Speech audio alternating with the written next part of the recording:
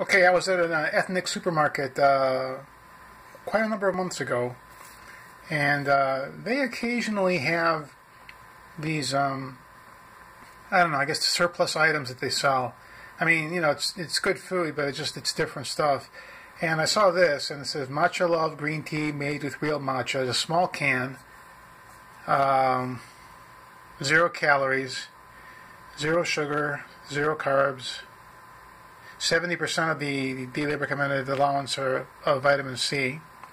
The ingredients are purified water, green tea, matcha, which is, I think, just green tea powder, ascorbic acid, and xanthan gum. Contains wheat and soy. So that's interesting. Shake well, shake well, shake well, shake well, which I did. I shook this thing well. Uh, it's been sitting in my cupboard for a few months now, and um, a modern take on an ancient ritual, matchalove.com. Haven't gone to that website and don't particularly care to. Matcha is made from ground tea leaves. When you drink matcha, you ingest the whole leaf. Matcha enhances mood and gives you energy. Green tea contains one third of the amount of caffeine found in coffee, which is, of course, why coffee is the superior drink. Uh, distributed by Ito En North America Inc. in Brooklyn, New York. Comments, or you can email comments at itoen itoen.com. Product of Japan. Uh, what's the best buy date on this thing? Knowing me is probably oh, just in time. It is, unless this isn't that, unless this isn't August seventh.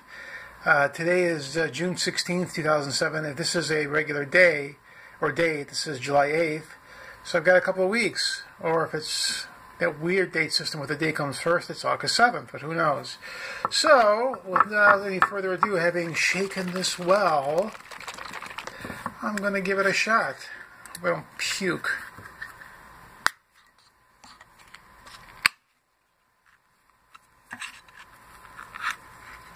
Actually, should pour this out in a cup. So, cross your fingers. Oh, it's horrific. Oh, there's this color. Ugh, it tastes like um, it tastes like you put dandelions in water and let them steep. Oh, it's horrific. I can't drink this. I think this was like 99 cents when I bought it. Oh my god, this is horrific. It tastes like crap. Yuck.